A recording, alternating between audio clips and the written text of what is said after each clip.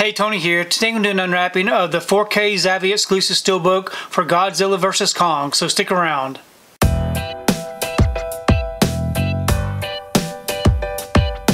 So I received my order for Godzilla vs. Kong. This right here is a Zavvi exclusive 4K steelbook.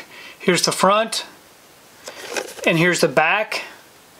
If you'd like to read up on it and check out these special features, you can go ahead and pause and do so.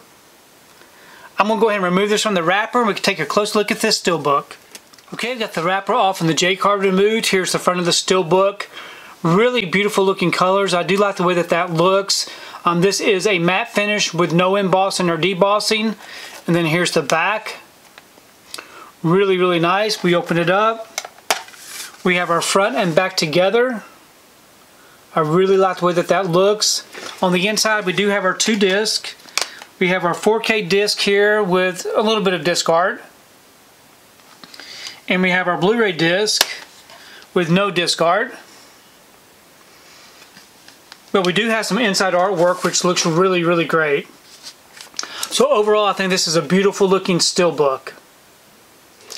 So I do think it's kind of unusual that they are still putting out steelbooks for Godzilla vs. Kong, but I really am happy that I was able to get this one. I really do love the artwork on this one. Please leave a comment below. Let me know what you think about this particular steelbook unwrapping, and also let me know what you think about the movie Godzilla vs. Kong, because I really do enjoy reading your comments. If you like what you saw here today, please give it a thumbs up and share the video. If you haven't subscribed to my channel, I really appreciate it if you would subscribe. If you do subscribe, please remember to hit that notification bell so that you can be notified every time I upload a new video. If you haven't found me on my social media accounts, I'm on Instagram, TikTok, and on Twitter. And if you'd like to find out what I've been watching, you can find me over on Letterboxd. I do have links below. But thanks again for watching, and we will see you next time.